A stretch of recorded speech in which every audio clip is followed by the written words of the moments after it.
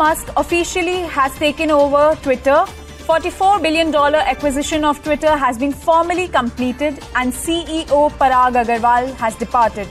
Image captures Elon Musk at the Twitter headquarters. My colleague Pallavi for more details on this. Pallavi. Well, I think that which everyone was anticipating and after much heartburn, uh, whether it's going to happen or not happen, has finally taken place.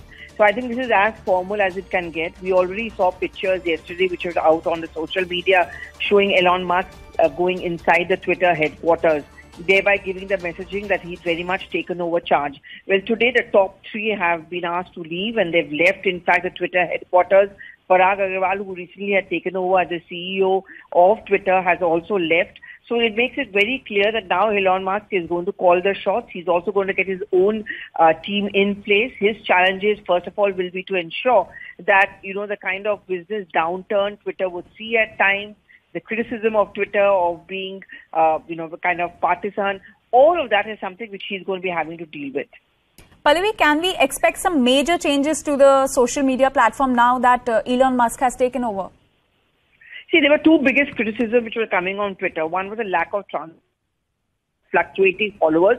And in fact, there was this allegation that there were a large number of bots who were not being controlled and therefore they were perceived to be followers and there were some who were actually buying those followers. And how genuine were they?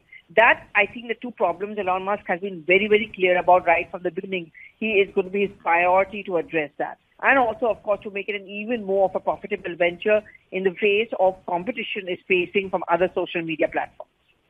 And Pallavi, why did uh, he remove Parag Agrawal and Vijay Gadde from the top posts?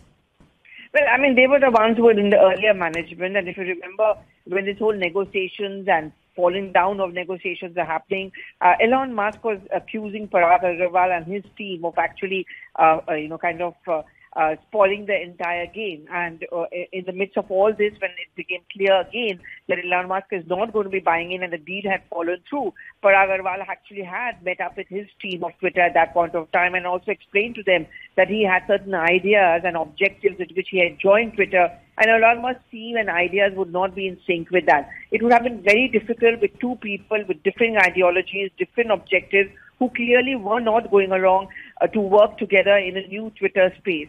So I think this was something which was expected. Elon Musk will bring in his own team because he's going to bring in his own objectives for the company as well.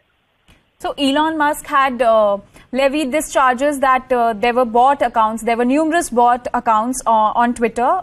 Uh, so uh, was this proven? Like, uh, did he prove some, give some evidence that this was true?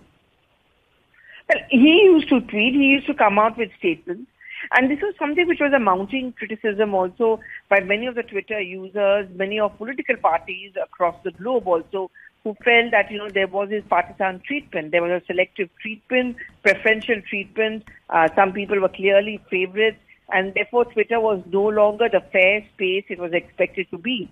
I think Elon Musk made it very clear, uh, categorically, he's going to ensure that this social media platform is actually a level playing field for everyone. I think it will be interesting now also to watch really in America whether there is going to be a return of the Donald Trump account because this is something which Trump and his supporters had also accused Twitter of, of playing favorites. And just because he was out of par, his account had been suspended. Why was this kind of a selective outrage? I would watch out for that space as well, that there is a, there is a possibility of Donald Trump now returning to Twitter.